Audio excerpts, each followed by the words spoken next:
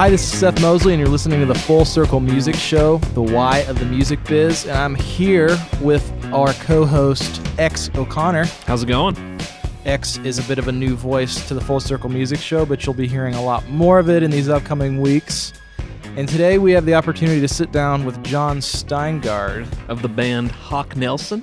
Jon is an awesome dude and shared with us a little bit about touring, about the many live shows, and even how he's doing a, lo- a lot in the uh, video production side of things as well too. So I, I think I personally like this interview because he talks a lot about if you're a new artist moving to Nashville, what are some of the things that you need to know before you jump into to head first. Yeah, he also covers a lot about how the road affects the money that you're making as an artist and how it's an essential part of being an artist if you want to be successful and make a living that way. But he also talks about finding other ways to be creative that also feed your musical creativity. And he kind of, I, I, thought it was cool. He, he he used a term that he calls re-entry.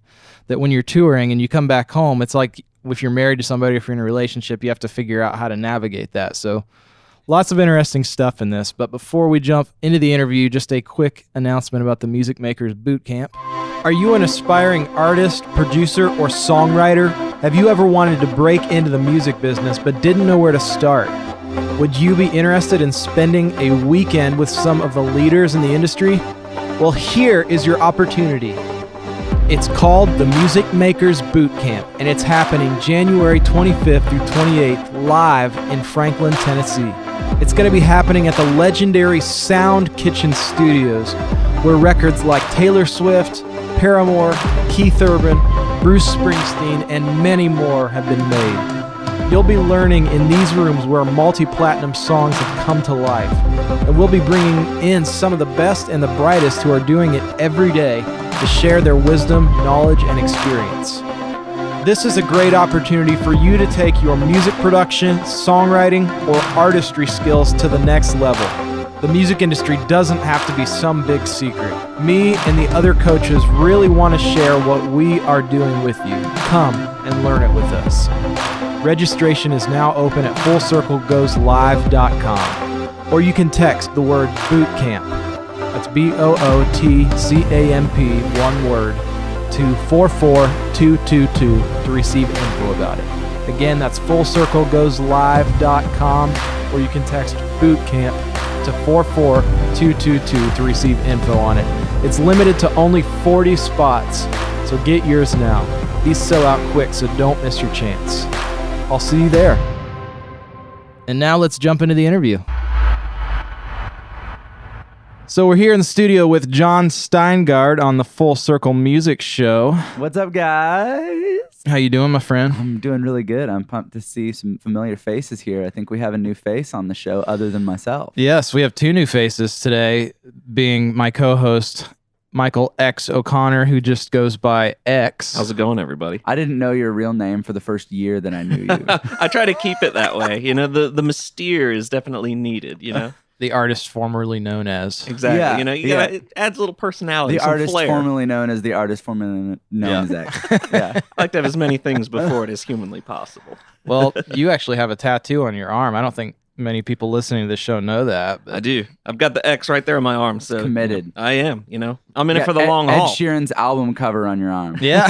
it's like, man, you I really love Ed Sheeran. dude, yeah, you know, I'm a fan. You know, what can I say? You have to pay like a licensing fee to Ed Sheeran. Yeah, you know, there was there was talks. You know, we worked something every out. time you wear a short sleeve shirt. Yeah, naturally. I, I think I came first though. I don't know. So you know, I think you did. It's it's debatable. You know, that's for the suits in Washington to decide. You know, it's more than I got. So we have Jon Steingard in the house. We've gotten to work together on a record and done a bunch of writing and other work. And Jon's just an awesome person. So shucks, the listeners are in for a treat. So why don't you just kind of pull back the curtain and share your backstory? Yeah, how'd, you, how'd so, you get into music? And yeah, it's convoluted a little bit as it is for most people, I think. But I'm in a band called Hawk Nelson. We're from Canada originally, and been in the U.S. for about 13 years or something like that. And I'm a pastor's kid, so I grew up in church and playing on worship teams and that kind of stuff. And at one point, I had a youth pastor that was like, "You're pretty good at the guitar. You should be in a band." And I was like, I was like super nerdy. And so I was like, I can't be in a band. Like band guys are cool. Like I have these big, thick Coke bottle glasses, and You were like not, you were like geocaching. and they're like, and yeah, geocaching. But Actually, my youth I, pastor I, I hooked did me up- geocaching, so I guess You that makes me. I did, I did. When I used to tour, that's That's that's, another story. amazing. But That's amazing. derailed That the is, I mean, it's, it's yeah. uh, so uh, my youth pastor hooked me up with my first band. We were called Noise Gate. And the only reason we were called Noise Gate is because we thought of the name Pitch Shifter. And apparently there was already a band called that. And we just looked down at a pedal board and looked at another pedal and just picked that name. Solid. Pretty good. So this is in southern Ontario, and basically there was just this huge in the late '90s, early 2000s. There was this big music scene there, and so I was in a band. A bunch of my friends were in bands, and eventually most everyone got real jobs. And there's like a few people left, like holding this hot potato of music, and it was me and a few other people, and we all kind of found each other, and then ended up in this band, Hawk Nelson. I was the guitar player for a long, long time. And then uh, about four, almost five years ago, our singer left, and I became the singer in a kind of a wild turn of events, and kind of found myself here today. yeah, Dude, that's awesome, man. yeah. What was your first live show? First live show was July 2004. Oh, sorry, no. First live show with Hawk was July. Well, I, I guess that could be a two-part question. Uh, first, first live show you ever saw. Oh gosh. Okay. Well, first live show with Noise Gate was in a skate park, which at the time seemed like amazing. Like we're playing at a skate park. uh, that's so cool. I didn't really skate at the time. I think that was gosh, I was 15, and the guys I was in a band with were all like quite a bit older than me. They're like 21, 22, and it was this like prog rock Oh, thing. nice. Like we were like really wanted to play a song in seven eight, you know uh, so that was my first experience with a live show at the skate park, and I was I was hooked. I was like, this is so fun. And then yeah, with Hawk, my first experience, the skateboarding ties in in both. Actually, I realize this now. My first show with Hawk was July 2004 in Omaha, Nebraska, at this place called The Rock. And the I've been there. You've been there. oh I've yeah, there. it's not there anymore. I went there probably 2007, maybe. Yeah. I think it was still there at the time. Yep. I think it was there for a little while longer. Yeah. But it was like where like Tooth and Nail bands would play and Hawk was on Tooth and Nail. And so I had started in between my first show and my first show with Hawk, I had started skateboarding and I had a just a massive, massive accident about a week before I started playing with Hawk. So my first show I played with bandages on my hands. Because because when I fell, I put my hands out Yeah. and my hands were just all chewed up. And so That's tough being a guitar player. so punk rock. I think everyone was like, "This guy's got what it takes to be in a punk band." No pain, no gain. Oh, Right. absolutely, man. So up to now, how many shows have you played out? See, I tried to figure this out the other day. The first few years we played, we were doing about 250 a year, which is a lot. But that was like, That is a lot. yeah, there's like there's only a hundred more days than that, really. Yeah. and doesn't mean we were home those hundred days. It was usually like at a Traveling, or you know, whatever. at a Waffle House or something. But I think if I really had to add it up, it would be a couple thousand, I would think. I mean, somewhere just shy of 2,000 would have to be my guess. wow, No, maybe more than two. I don't know, somewhere in and around 2,000. It's a lot. It gets blurry. man, That's a few shows. That it's is a, a few it's a couple shows. it's like Yeah. almost it's like six years worth of shows. Oh, I if, hadn't if you about did that. like day after day, that would Yeah. be like six years. That's so crazy. Yeah. it's been 13. It's been like 13 or something like that. So that- man, yeah, that's that- awesome, man. That's super. about half the time sounds about right. Have you been married that whole time? not entirely, but pretty close. I met my wife right around I think the same year I joined the band in an unrelated thing. We met before I was in the band, and then I started getting to see her more often once I was in the band and we were traveling. She's from California, so I would find myself out there. And the first record that we put out uh, had a song called California, and so we ended up playing in California a lot. And so I found myself out there and then we we got married like two years later and so we're coming up on our 10 year anniversary pretty soon So she's kind of been with you the entire She- time. it's all we've ever known Yeah. yeah and so like and honestly we're still trying to figure we have seasons where we're like we got this we know how to do this and other seasons where we're like where it kind of like it beats us a little bit. We're Yeah. just trying to stay connected and we're both really independent. So actually when I'm gone, that's not the problem. Yeah. It's like when I get home, trying to like figure out, wait, how do we like do this together? Like Yeah. we're so used to our own routines. yeah. So we have this period we call re-entry.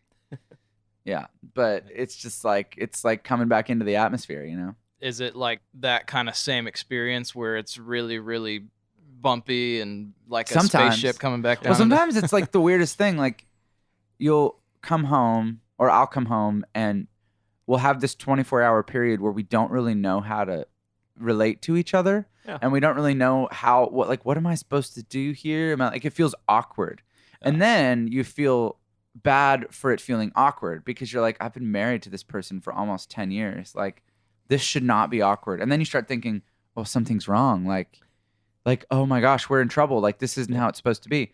And those thoughts just sort of pile up. And you know eventually either we get into a fight and then working through that fight gets us back into it so Yeah. sometimes i'll like i'll be tempted to instigate You're like let's just Hey. let's fight because then Just get it out of Uh, the way. or then or other times I'll get home and it'll just be like seamless. It's the weirdest Yeah. thing. I can't put my finger on it.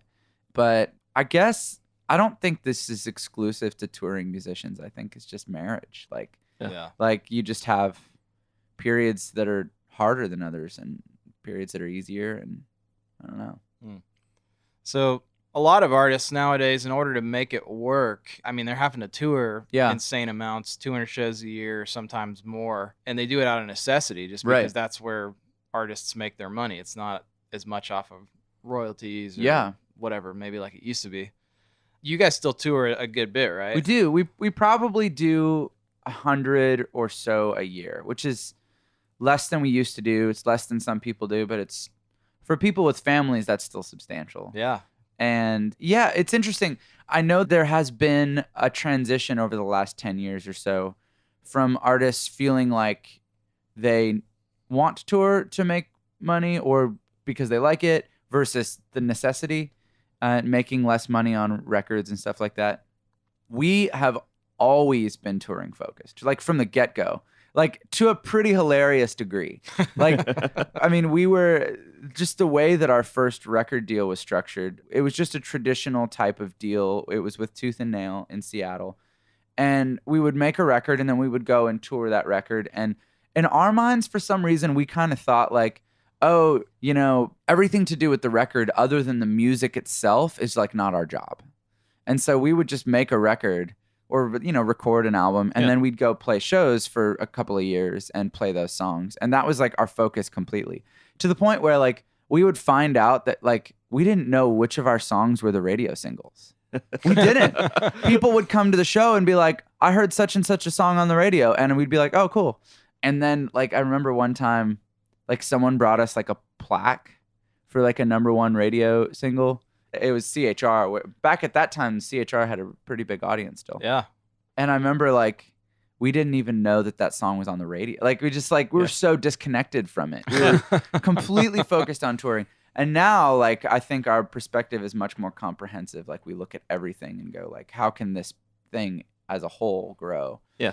We're still really touring as far as income goes. We're still really touring focused. And I think we've tried to grow the other side of things. Like, the way that our label relationship is structured now is much more of a partnership. We Yeah. pay for our own albums and we'll participate in revenue from that in a different way than we would have in a kind of an old school record deal. But touring is still the main thing. So do you feel like you do that out of still loving it or is it a little more of a necessity nowadays? It's like marriage, man. It's seasons. Yeah. It's like I have seasons where I absolutely love it and seasons where I go I don't know how long I can do this. You know? Like usually every August. Every August is when I'm like ready to call it. Cuz it's like the end of the summer, you've playing outdoor shows. They're either hot or you get rained out. Yeah. You know, it's just like summer can be a beatdown. When we first started, I loved playing summer festivals. Oh my gosh, it's so fun. There's all Yeah. these people, there's all these other bands. You get to see each other, you know, like, oh, it's like family, you know, Yeah. summer camp. And then and then eventually you're like, oh gosh, this is really hot. Yeah. oh, we're getting rained out again. And the travel is much harder because festivals are every which place. Yeah. And it's not like routed, you know, in a way that makes sense for travel. And then a lot of times in the fall, we'll be on a tour and things will just lock in, and I'll be like, oh, I do love this. Yeah. So Yeah. I don't know. It's seasons for me. It is still a necessity financially for everybody in the band. And honestly, over the last three or four years, I think from an income point of view, like all of us have developed other avenues of, of making money that we can do at the same time just because you know if we're only playing 100 shows a year we actually do have some time to do other things and i actually feel like a little bit of balance there can be healthy and they that can be things that complement what we do as well like micah our guitar player who you know yeah. because we met through you Yeah. micah you know writes and produces and he's very talented with that stuff and i do some of that i've been doing a lot of video production recently and Yeah. dan has a garden he tends to Yeah. yeah i don't That's producing. some, sometimes when he goes home i don't entirely know what he does but he instagrams flowers So you know he's alive. you know? Yeah, he's out there doing something. Well, and he also like for the band, he handles all the merchandise and stuff like that, and that's a massive job. That's one of the things I'm like really grateful to not be a solo artist and to be in a band where you know everyone is everyone's pitching in. Everyone's kind of doing things that are their you know cup of tea or their skill set or whatever. And sure. there's so many things that Dan does that I'm really grateful that That you're not don't- I doing. don't have to do. I'm just not good at it either. Like, okay, maybe you guys have seen this band merch. If there's a T-shirt that you personally like, no one wants to buy it. and then and then you'll see a shirt that I'm like, I, I don't know that I would wear that. And then it'll go like gangbusters. Yeah. Yeah. So I'm maybe that's just me. I'm just really bad at calling what works for merch. Anyway, And he's really good at it. he's much better than me. Yeah. He it's not that he never misses, but he misses a lot less than I would. Yeah. so he designs it and everything. His wife actually does. Oh, that's Yeah, great. his wife's a graphic artist, really talented, and she yeah, she's done a lot of our graphic art, you know, the last 10 years. That's awesome. yeah, that is awesome. Keeping it in the fam. Yeah. So you mentioned earlier that touring was a big part of it, and before you guys, you know, you weren't even really aware of what was going on at radio. So unaware. So has that changed now? Yes. So how has that changed and started to affect you guys? Well, I mean, it really started. There was a really clear line in the sand when Jason, our old singer, when he left the band. We were also at the end of our record deal, so it was a really natural point to sort of reset some things. And that's when I moved into the role of lead singer. And the first year of that was trying to figure out what that even looked like. I mean, Seth, you were involved in that process and were Mhm. very helpful in speaking into it. And but we sort of reformulated everything. My voice is so different than Jason's voice that like I'm just not like a punk rock singer. Yeah. And I just love pop music, and so I think we went musically in that direction a little bit more. We developed a new label partnership with Fair Trade, who we think really highly of, and just sort of refocused what our goals are. And we wanted, especially as we were getting older as well, like we're not like 18 anymore. Yeah. We just wanted to write music that was maybe applicable to a wider audience than we had before. And I think our musical preferences catered well to that. Mhm. So we definitely focused more on songs that would work across larger demographics, and that meant AC radio. Mhm. And our first single was called Words, and I wrote it with Seth and our buddy Matt Hammitt, and Seth produced it. And it was the first time we had a song on AC radio that really connected. And man, seeing the impact of that at shows, seeing what that meant just across the board was a kind of a game changer for It us. changed the experience while you're out playing. Yeah. yeah. Because I'm like, and it was a different audience than we Yeah. had had before as well. I started asking, you know, how many people at shows, how many people have seen us before? And we'd have like maybe 5% of the crowd put their hand up. Oh, I'm wow. like, oh, wow. We really started over to a large degree. And instead of being bummed about that, we were like kind of excited to feel like we had a bit of a clean slate. So for a lot of people, especially the more AC audience, like we were a, a new artist. And so the last three or four years have been, you know, sort of growing things from that point of view to a large degree. Yeah. Yeah. So was that a transition from sideman to frontman? We've talked actually Yeah. just talked to Barry Graul about this last week because he's guitar player sideman in MercyMe. Yeah. And we talked about the differences between being a side man and a front man. Yep. I say a lot that like the world looks really different 10 feet over. Yeah. Like it does. I mean, you are sort of the conduit that's connecting the audience with the band. And I believe really strongly for us that we are a band. And so like it's not like a solo artist situation and I really try to always pay attention to moments where it feels like it's going that way. Like for instance, like this tour we were on, the first show we played, I felt like the other guys were in the dark lighting wise a lot. And so I talked to the lighting guy and I'm like, look, we're a band. Everybody has to be lit up. This Yeah. can't be just like lead singer in the spotlight. But having said that, it is a completely different thing than being, you know, guitar player over to one side or drummer behind. In between songs, you know, you can't, you don't really get a break in a show. Uh, I mean, everyone's watching you. Yeah. And in Christian music, particularly, I think there's this expectation, and not wrongly so, that you're going to have something worthwhile to say. Mhm. And I think because Christian music is such a lyrically driven format, that like having messages of hope and messages that really resonate with people is like, that's the thing. And I mean, we didn't think about it that way until until really this season with me as the singer. Like when we were just a punk band before, we were just like, oh, Yeah. this beat is cool.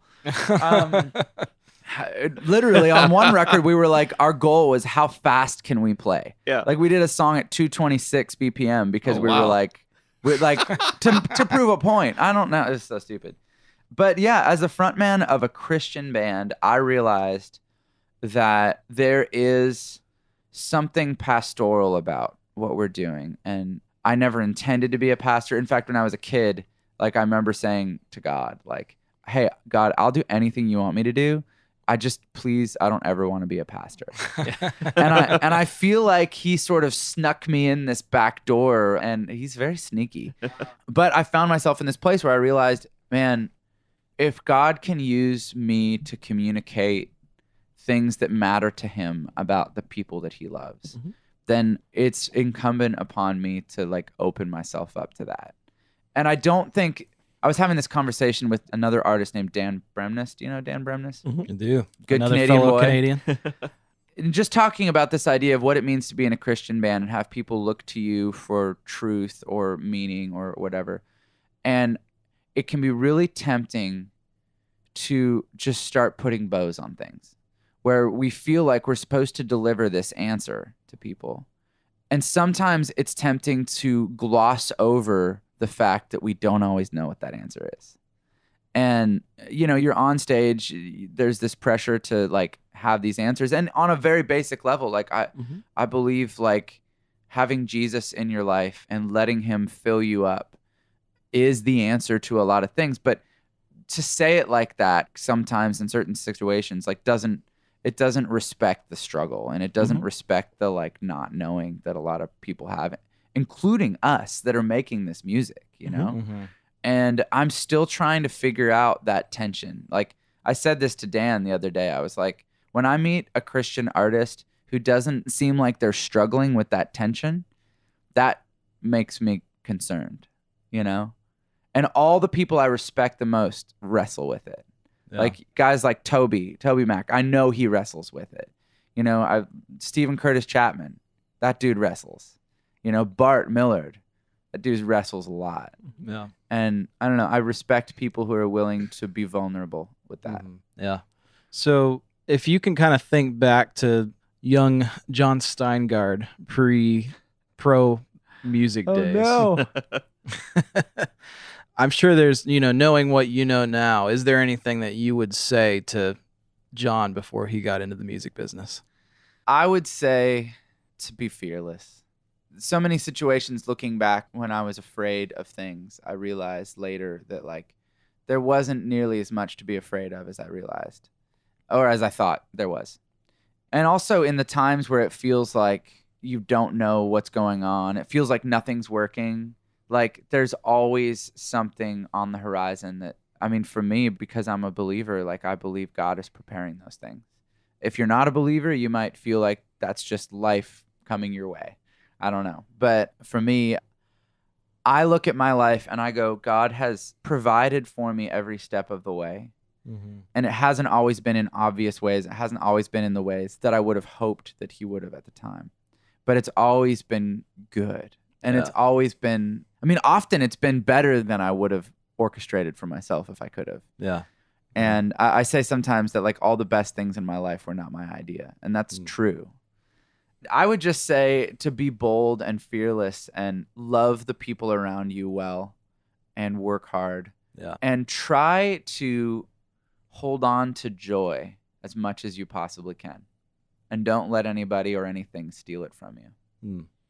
Yeah, that's a big thing because I think we're in an industry where you're only as good as your next Completely. number one or next whatever it is, you know. Yeah. So So how do you be joyful when you don't have that number one? exactly. Or how do you be joyful when you have the number one and you're not just Yeah. thinking about what the next one is, you Dude, know? so we we had a song called drops in the ocean that was actually for me as a writer my first ac number one Yeah. and when i found that out i had an absolutely miserable week because i had these two thoughts running through my mind the first thought was no one's going to think it was because of me i wrote it with a very talented writer named jason ingram who you know and Mhm. another talented dude named Matt Bronleewe. And so I just like I had it in the back of my head. Everyone is gonna think that this song is great because of these guys and not because of me. Mm. So that was one thought. And then the other thought was like, well, now I have to do it again. And otherwise, I'm headed in the wrong direction. Otherwise, it was just a splash in the pan. And it, I guess at the core, I was afraid that that success wasn't going to stick to me, you know? Yeah. I was afraid that it was just going to be a fleeting moment. And I had about a week where I was like really stressed about that and ashamed that I felt those things too, because they're ugly, you know? Those are ugly thoughts. And I felt really clearly God sort of just dropped this idea into my head at one point.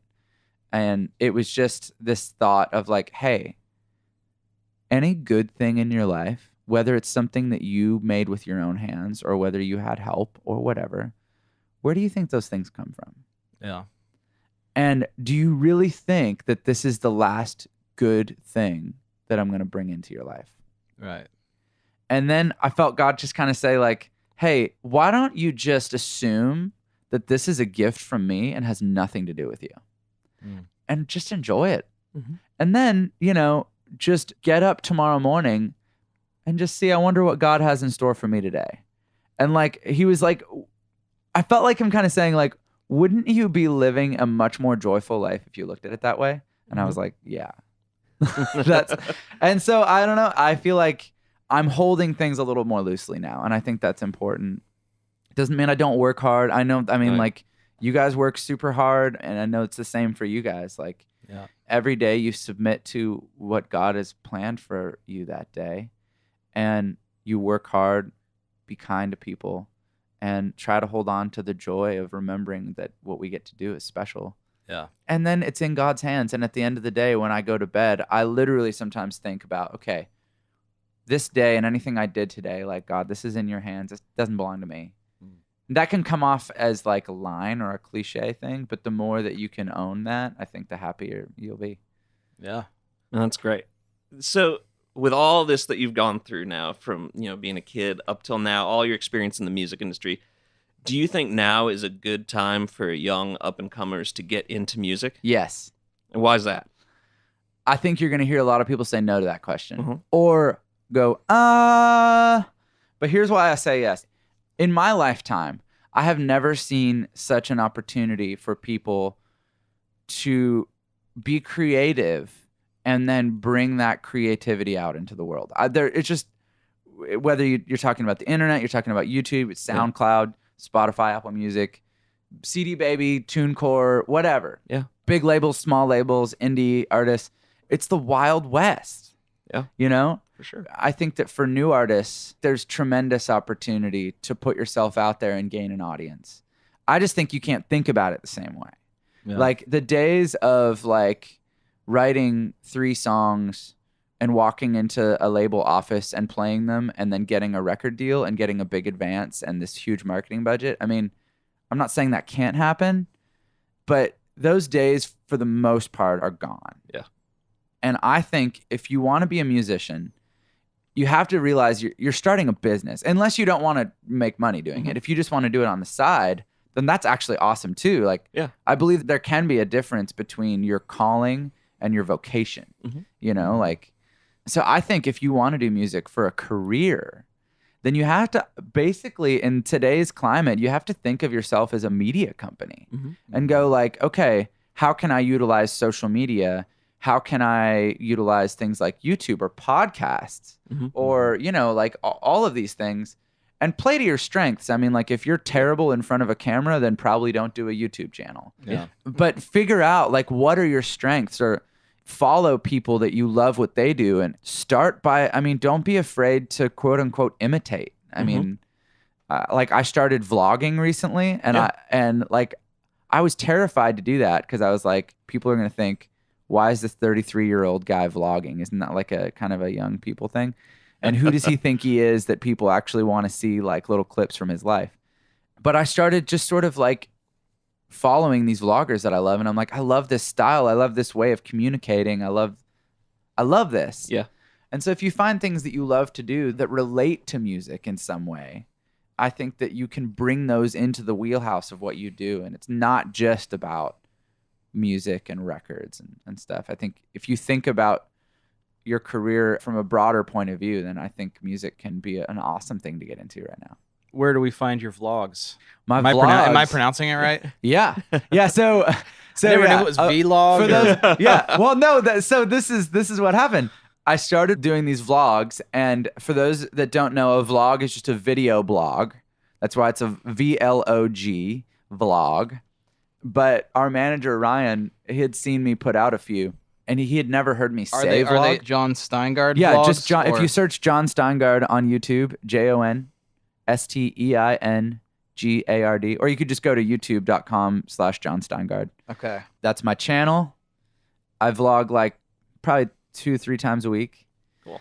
But our manager, Ryan, he had seen the word written, but he had never heard me say it or someone say it. And so he was like, I think it's great what you're doing with those vlogs. I would have been in that same and boat. I bust. Oh my gosh, I bust so much. And then a couple episodes later, like we were talking about it, and I was like, guys, I'm gonna call it the vlog. So I branded it as the vlog. So like there's a little icon if you watch it on on a computer or on your phone, like turned sideways. There's Yeah. a little logo on the bottom that says vlog. that's awesome. Man, that so is I, I awesome. just pulled it up. You actually like produce these things. Yeah, pretty so good. I, I mean, it's one of the things, uh, you know, in the spirit of widening your lane as a musician. You know, I've been getting into video production a ton. So some of it is like more professional shoots. Like Some this is it all like iPhone stuff, right? no, no. Or this, this- I'm, so this is full on like your I'm a little vlogs. bit hardcore. Okay, Yeah, I meant to have my camera rolling for this actually, and I forgot. should be vlogging right now. I know. Li- live stream. Which one did you pull up? Jon, you don't need permission. Just start. Oh yeah, that's one of the early ones. I was still figuring that out. That's pretty awesome, man. I think I'm on episode 24. Okay. Very So, cool. It's not like you guys are on episode like 40 something, 45. I believe by the time that this episode comes out, it'll be, I think, the 45th one, Gotta catch up. Yeah. I gotta catch up. plus or minus one or two. Thank you so much for stopping by today. We My appreciate pleasure, you man. Yeah. taking Thank the you time. for chatting. and- It was great. yeah. It's been great talking to you, man. Learning a little bit more about you. Love it. Hi, this is Seth Mosley. You've been listening to the Full Circle Music Show, the why of the music biz. That was a great interview with Jon Steingard. Learned a lot about what he's got happening, especially all the cool videos and social media stuff that he's been putting up there for people to kind of keep track of what's going on. Really cool. Check out his. Uh, we actually learned about what a vlog is. Before you do anything else, we'd greatly appreciate it if you head over to iTunes, take literally one minute, leave us a good rating and a good review. That helps us out a ton. Appreciate all of you guys who are listening. The numbers are growing every single week. And uh, again, if you haven't checked out the Music Makers Boot Camp, it's selling out very fast. And uh, you can check that out at fullcirclegoeslive.com. And we will see you next week. Have a good week, guys.